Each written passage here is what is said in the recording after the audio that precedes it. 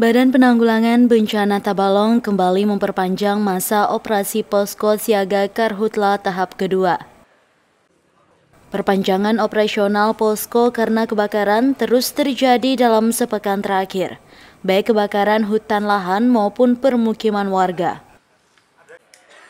Perpanjangan tahap kedua ini dimulai dari tanggal 16 hingga 30 September 2018 yang mana sebelumnya juga telah diperpanjang dari tanggal 1 hingga 15 September 2018 sejak didirikannya pada tanggal 2 Agustus 2018.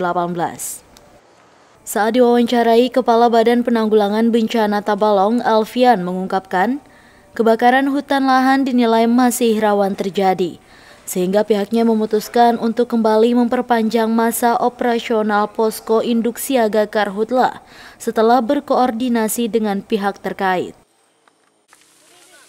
Selain itu dari hasil penelitian yang dilakukan, BPBD Tabalong juga menemukan potensi adanya indikasi terjadi kabut asap akibat kebakaran hutan dan lahan. Melihat situasi kondisi di satu minggu terakhir ini dengan banyaknya kejadian eh, kebakaran hutan lahan, titik hotspot, serta banyaknya kejadian kebakaran perumahan dan pemukiman.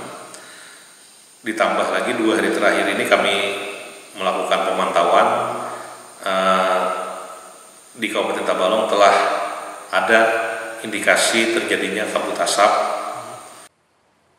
Alfian menambahkan, Operasional posko induk siaga karhutla akan terus diperpanjang hingga tahap 3 jika potensi karhutla masih tinggi. Namun jika kondisi dinilai normal, maka masa operasional posko ini akan dihentikan. Rahmadi, TV Tabalong melaporkan.